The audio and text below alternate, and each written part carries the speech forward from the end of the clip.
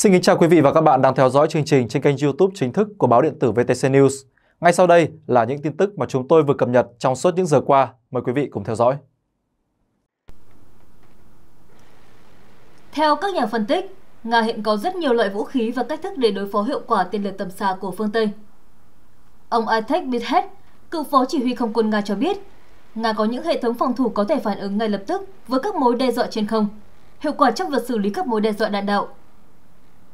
Hệ thống phòng không S-300V, phiên bản nâng cấp của hệ thống tên lửa đối không tầm xa S-300. S-500 là hệ thống SAM, ABM, hệ thống tên lửa đất đối không, chống tên lửa đạn đạo di động mới nhất của Nga.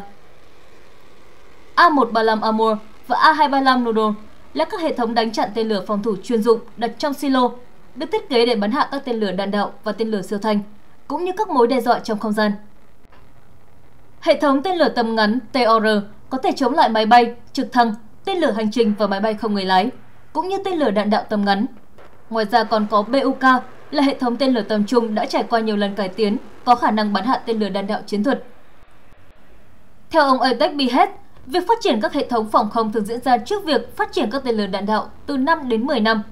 Nhà phân tích này lưu ý, Liên Xô đã bắt đầu hoàn thiện khả năng chống tên lửa đạn đạo đầu tiên của họ vào cuối những năm 1980 khi NATO bắt đầu triển khai thế hệ vũ khí đạn đạo có độ chính xác cao mới.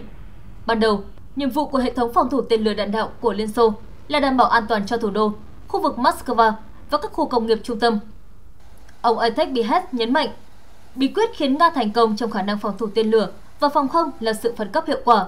Ngày nay, không chỉ có các hệ thống phòng không riêng lẻ, mà toàn bộ hệ thống phòng không đều có khả năng phản ứng ngay lập tức với bất kỳ mối đe dọa trên không nào. Ông Aitek Bihet nhấn mạnh, mọi thứ đều nằm dưới sự kiểm soát chặt chẽ của radar và được quan sát từ mọi góc độ. Từ sở chỉ huy của một đại đội radar đến sở chỉ huy trung tâm của Bộ Tổng tham mưu đều nắm được thông tin về mối đe dọa. Trong khi đó, hãng RIA dẫn nguồn tin quân sự Nga đã công bố một số cơ sở quan trọng của NATO có thể nằm trong tầm bắn của tên lửa tầm trung siêu thanh mới Oreshnik, có tốc độ bay 2,5 đến 3 km trên giây và tầm bắn tối đa 5.500 km. Cụ thể, ở khu vực Đông Âu, tại Ba Lan, căn cứ không quân Las, các địa điểm hoạt động tiền phương Polwip, Zagan và Ponan và căn cứ Rezikogo. Tại Estonia là căn cứ không quân Armani, nơi được coi là chìa khóa cho các hoạt động kiểm soát không phận của NATO trên biển Baltic. Tại Latvia, khu huấn luyện quân sự Selonia được coi là trại huấn luyện lớn nhất của NATO ở vùng Baltic.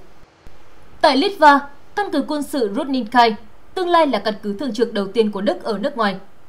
Tại Romania, gồm có căn cứ quân sự Deveselu, Mihail Koganinseanu. Tại Bulgaria, căn cứ không quân Benmer và Grab Ignatievo, căn cứ huấn luyện lớn nhất của NATO Novoselozhange. Tại Kosovo, có trại Bonstel, căn cứ lớn nhất của Mỹ ở Balkan. Ở khu vực Bắc Âu, tại Phần Lan, có căn cứ Mikkeli, nơi ở tương lai của Bộ Tư lệnh Mặt đất của NATO. Tại Thụy Điển, có căn cứ Hải quân Kaskaronan, ở khu vực Tây Âu. Tại Đức, có căn cứ không quân Ramstein, căn cứ không quân lớn nhất của Mỹ và NATO ở châu Âu, căn cứ Spandahem, căn cứ không quân NATO Kellenkirchen, căn cứ không quân Buchen, quân đội Mỹ đồn trú tại Ansbach, Baravia, Revland, Flan, Stuttgart và đồn trú tại Wiesbaden. Tại Bỉ, quân đội Mỹ đồn trú Belenlak và căn cứ không quân Kleine Brogel. Hà Lan có căn cứ không quân Volkel. Còn tại Ý có căn cứ không quân Aviano, căn cứ không quân Gedi, căn cứ không quân hải quân Signoriella, Sicily, căn cứ hoạt động hỗ trợ hải quân Naples. Hy Lạp có căn cứ hoạt động hỗ trợ hải quân Vịnh Sauda, Crete. Anh Quốc có căn cứ không quân hoàng gia Lakehead, căn cứ không quân hoàng gia Middleham, căn cứ không quân hoàng gia Ancobury, Molesworth, căn cứ Fryford, Wayford, căn cứ không quân hoàng gia High Wycombe, RAF HQ, căn cứ hải quân Portsmouth. Tây Ban Nha có căn cứ hải quân Rota, cơ sở chiến lược quan trọng cho các hoạt động của Mỹ ở biển Địa Trung Hải và căn cứ không quân Maron. Bồ Đào Nha có căn cứ không quân Lazes, quần đảo Azov, trung tâm hậu cần xuyên đại Tây Dương quan trọng của NATO, có thể trở thành mục tiêu nếu Oreshnik có thể được tái triển khai từ khu vực Astrakhan đến các địa điểm phòng mới ở đâu đó phía tây Moscow. Sau Mỹ, Pháp cũng đã bật đèn xanh cho Ukraine sử dụng tên lửa của nước này để tấn công các mục tiêu trên lãnh thổ Nga. Việc một số nước phương Tây cho phép Ukraine sử dụng tên lửa để tấn công Nga gây ra ý kiến trái chiều không chỉ đối mặt với sự chỉ trích của Nga mà còn vấp phải sự phản đối của không ít nước phương Tây khác. Trong một tuyên bố, đại diện thường trực của Nga tại các tổ chức quốc tế có trụ sở tại Viên, Áo, ông Mikhail Ulyanov cảnh báo Pháp và Anh đã quyết định giúp Ukraine sử dụng tên lửa có độ chính xác cao và họ sẽ phải trả giá cho điều đó. Nga sẽ đáp trả các cuộc tấn công bằng tên lửa vào Nga. Ông Ulyanov cũng nhấn mạnh, những gì chính quyền Mỹ đã làm trước đó là rất nguy hiểm và người đưa ra quyết định này hoàn toàn nhận thức được hậu quả tiêu cực của nó. Người phát ngôn Bộ Ngoại giao Nga, bà Maria Zakharova cũng chỉ trích tuyên bố của Ngoại trưởng Pháp. Bà Zakharova chỉ trích sự hỗ trợ này không phải là giải cứu mà là sự kết thúc. Lập trường của Pháp chẳng những không giúp ích gì cho Ukraine mà còn làm xấu đi vị thế của nước này trong cuộc xung đột hiện tại. Việc cung cấp vũ khí tầm xa góp phần làm gia tăng căng thẳng hơn nữa, cuối cùng sẽ dẫn đến hậu quả tàn khốc cho chính Ukraine. Một số quốc gia châu Âu khác bày tỏ quan ngại về việc phương Tây cho phép Ukraine tấn công lãnh thổ Nga. Trong một tuyên bố đưa ra hôm qua, Thủ tướng Ba Lan Donald Tusk và Thủ tướng Hungary Viktor Orbán cảnh báo điều này sẽ chỉ làm lan rộng nguy cơ xung đột ở Ukraine. Trong một tuyên bố, Thủ tướng Ba Lan nhấn mạnh, cuộc giao tranh ở phía đông đang bước vào giai đoạn quyết định. Không ai trong chúng ta biết được hồi kết của cuộc xung đột này. Chúng ta chỉ biết rằng nó hiện đang diễn ra theo chiều hướng rất kịch tính.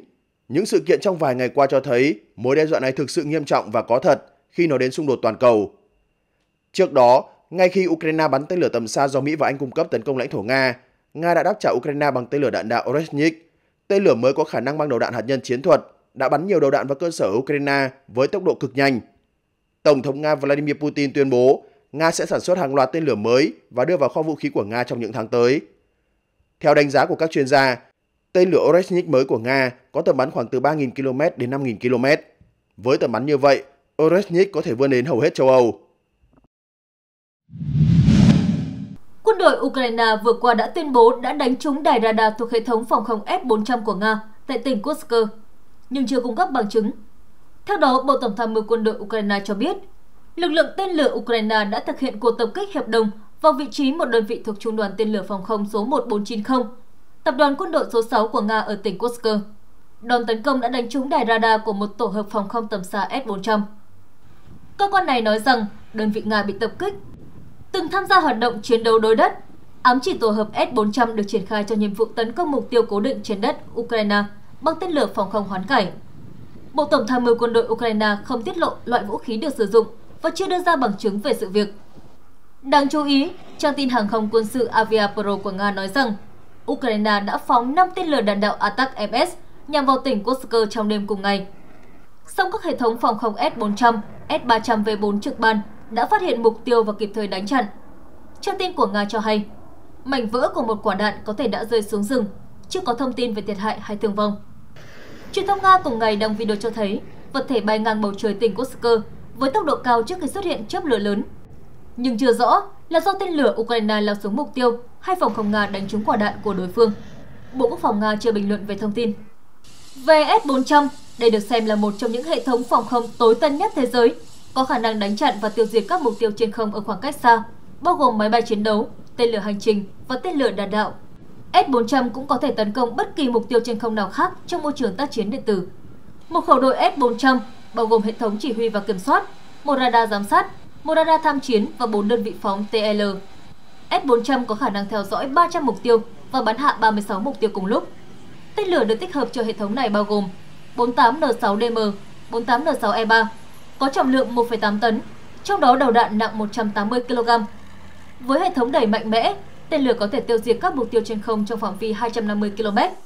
Trong khi đó, tên lửa 40N6 có tầm bắn 400 km và sử dụng radar chủ động dẫn đường để đánh chặn các mục tiêu trên không ở khoảng cách rất xa.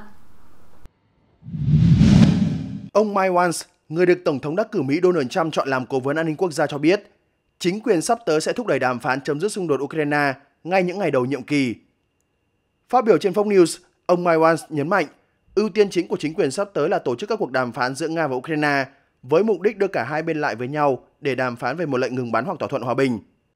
Ông nói, chúng ta cần thảo luận xem ai sẽ tham gia bàn đàm phán này. Liệu đó sẽ là một thỏa thuận hay một hiệp định đình chiến? Làm thế nào để đưa cả hai bên vào bàn đàm phán? Và sau đó là phạm vi của thỏa thuận là gì? Ông Wans cũng nhấn mạnh tầm quan trọng của việc lôi kéo các đồng minh châu Âu của Mỹ vào quá trình này. Ông cho biết, tất cả các đồng minh và đối tác của chúng ta cần chia sẻ gánh nặng này đồng thời nhấn mạnh việc giải quyết xung đột sẽ cần đến sự hợp tác quốc tế. Chính trị gia này lưu ý rằng những quyết định gần đây, chẳng hạn như việc Tổng thống Mỹ Joe Biden bật đèn xanh cho Ukraine, dùng tên lửa do Washington cung cấp để tấn công sâu vào lãnh thổ Nga, đã kéo theo giao tranh dữ dội hơn. Là một đại tá đã nghỉ hưu và là chuyên gia về các mối đe dọa an ninh quốc gia, ông Wans tin rằng chính quyền Tổng thống đắc cử Trump sẽ hành động nhanh chóng để khôi phục khả năng răn đe và chấm dứt xung đột. Ông chỉ trích việc chính quyền Tổng thống Biden bật đèn xanh cho Ukraine tấn công sâu vào Nga. Mặc dù vậy, ông cho biết ông và nhóm chuyển tiếp của Tổng thống đắc cử Donald Trump đang cộng tác với chính quyền đương nhiệm và ông đã gặp gỡ cố vấn an ninh quốc gia Jake Sullivan. Ông nói, chúng tôi sát cánh cùng nhau khi tái khẳng định sự thống nhất trong quá trình chuyển giao quyền lực